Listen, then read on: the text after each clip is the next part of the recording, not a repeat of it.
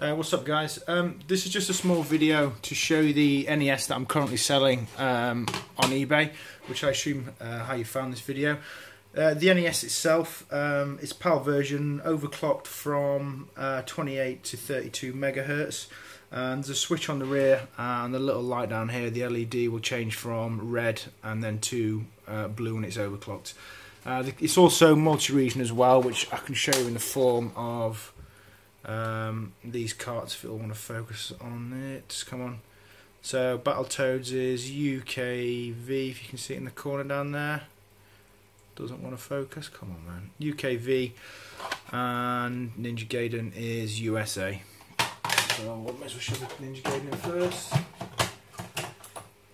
Uh, so it's red, so it's standard at the minute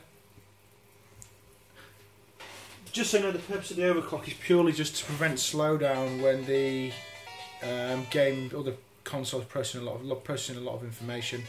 Um, doesn't really speed up the gameplay as such, uh, but it's more noticeable just in the tone of the music.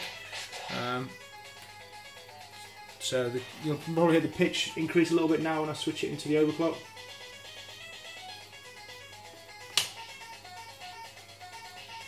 So there's a slight increase in the pitch there which is when it's overclocked.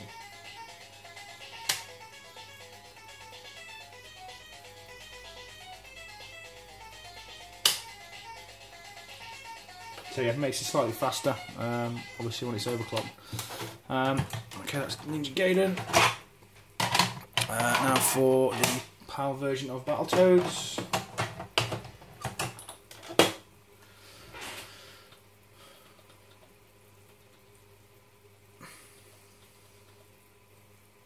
Which I think that it's a bit more noticeable on this one than it is with Ninja Gaiden just because of the start of the music I think. In fact we get music on the start screen don't we so I'll just leave it at that.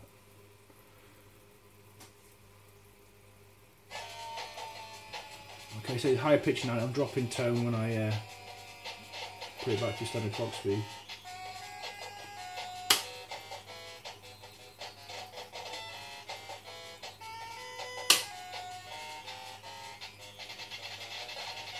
Right, okay then guys, yeah, if you're interested either drop me a message or or or, uh, or bid away.